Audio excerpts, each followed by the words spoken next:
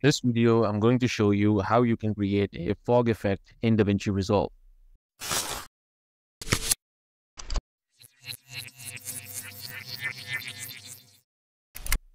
So right now I have created a timeline. Go ahead, create a timeline. You can just keep this at default settings. And now you can go ahead and drag any footage that you have. So right now I have this footage over here. Let me just drag this to the timeline. And let's just go ahead and play this. So this is the footage that I have and I want to add a fog effect in this footage. So this is very simple. All you need to do is just select your footage and right click. Now go over to this option and select open in Fusion page. Now once you do that, this will take you to the Fusion page and this will be your footage connected to the media out. Now what you need to do is you need to drag in a merge node. The next thing you need to do is drag this fast noise and connect it with the merge. And here you can see we already have the kind of effect that we want. This is giving us that fog effect, but we will make some adjustments. So click on fast noise and go over to the details. Now, if you go ahead and increase this, this will give you a more detailed view, but this will not be kind of like a fog. This will be more like a smoke. So if you want to make it a fog, just reduce this, but make sure that this is not at zero because otherwise this will not work. So somewhere around two, this will work. But if you want something like a smoke, you can go, go ahead and increase the detail. So right now I'm just going to keep this around two. And you can also go ahead and change the contrast.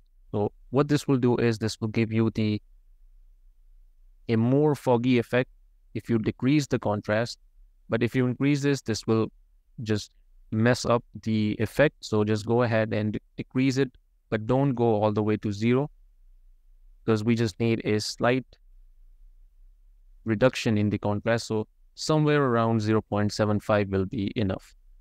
Now you can go ahead and keep the rest of the settings as they are. But if you want this fog to move, all you need to do is just change the this rate, seethe rate over here. So just go ahead and change this to somewhere around 0 0.7, 0 0.07. So if you go ahead and play this now, you can see that there is some movement within the fog. And if you want to increase the speed, you can go ahead and increase this. But if you increase this too much, this will not be in a fog effect. This will be something different. So if you want to make it appear more like a fog, you need to keep this at somewhere around 0.07. So this is the effect that, this is the setting that worked for me. You can just go ahead and play around somewhere around here. So here you can see we have this fog that is moving at a very slow speed, but it does appear like fog. So this is the effect that we were going for. And now what you can do is if you want the fog to appear at a specific area in your footage, all you need to do is just drag a polygon tool, or you can also drag the rectangle or ellipse as well if you want it to be more like rectangular or circular. So I'm just going to drag this rectangular and I'm going to connect it with the fast noise. Now go ahead and select the rectangle and increase the width. You can also change the height, but I'm just going to keep this at default, but I'm going to change the soft edge. So just make sure you change this all the way to this side. So this is 0.2. And if you just drag this downwards, and you will see that this is appearing over here within the bottom of our footage. So we don't want this to appear at the top. We just want it to be somewhere around here.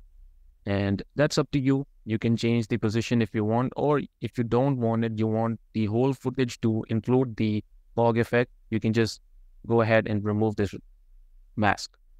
So if we go ahead and play this now, So this is the effect that we were going for, but you can always go ahead and make some adjustments in the fast noise. So you can also go ahead in the merge and you can change the blend to see if you want this to reduce the effect.